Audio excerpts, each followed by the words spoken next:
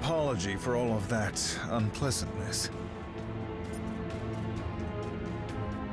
I will. But first we need to deal with Dormammu. That was no more than a shadow of his true power. He's the master of this dimension and can twist its dark magic to his whims. And it gets worse. Dormammu has an Infinity Stone. It's what opened the first rift between our dimensions. I tried to chase it here, but it was too late. For me, and perhaps for reality as we know it. I'm afraid so. And unless we stop him, he'll make every dimension as dark as this one.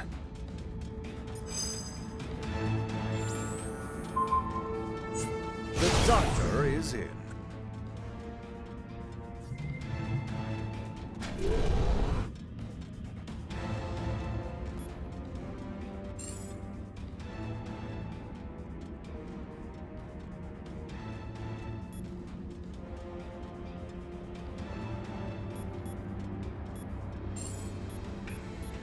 Did anyone call for a doctor?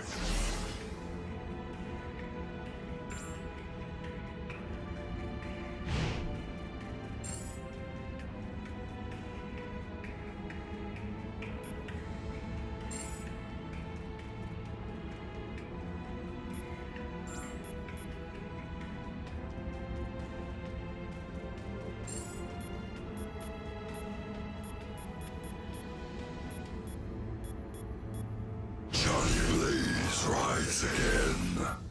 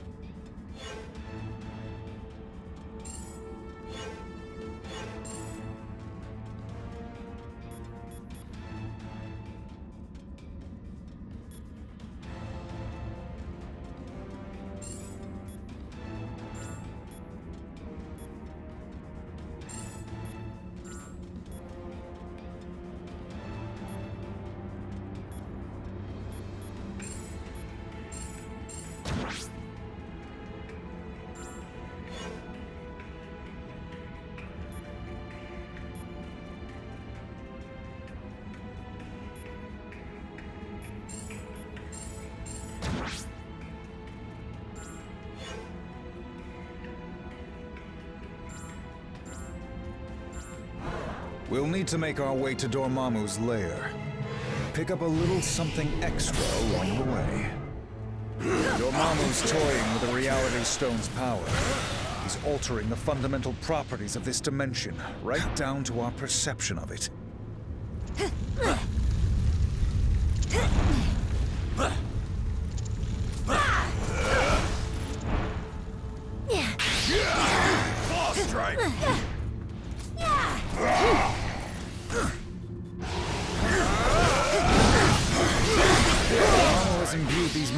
Ones with his own essence. They won't be nearly as easy to defeat.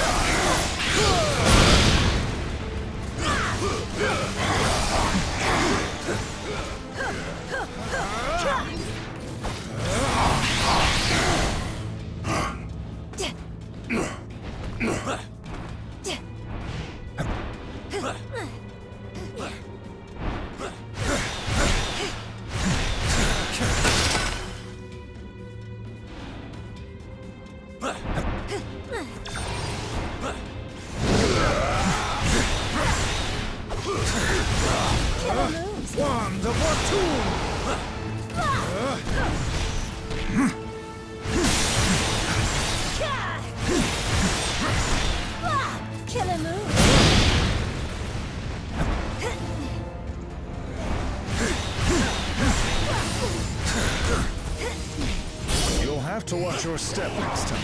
I may not always be here to catch you.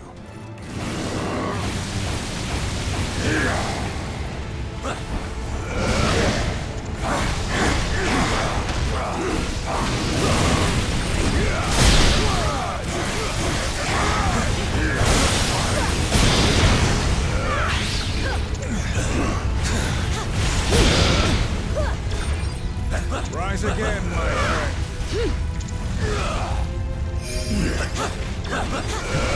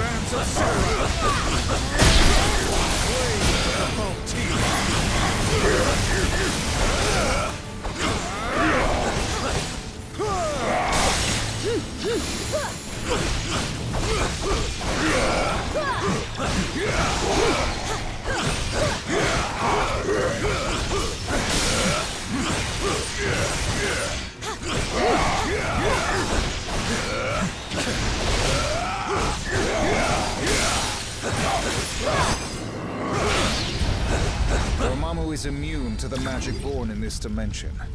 But the Reality Stone has created an anomaly. Dark crystals that we can use to absorb and reflect Dormammu's energy. If we can find them.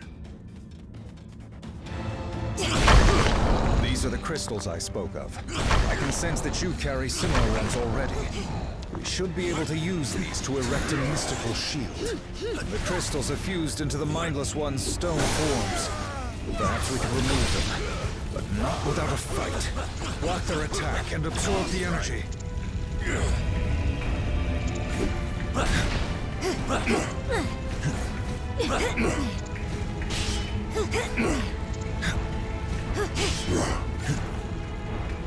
Ugh.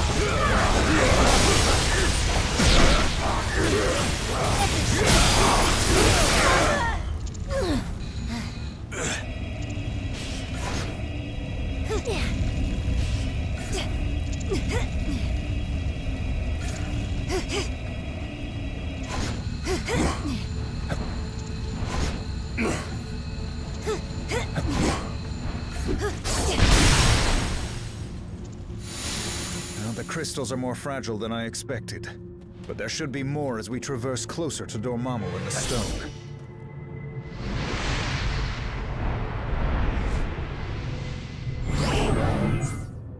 Ah, all of these winding paths and walkholes are giving me a bloody migraine. I'm beginning to think I should have stayed in hell.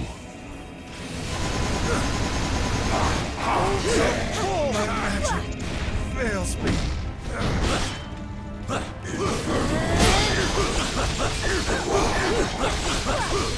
This round's on me.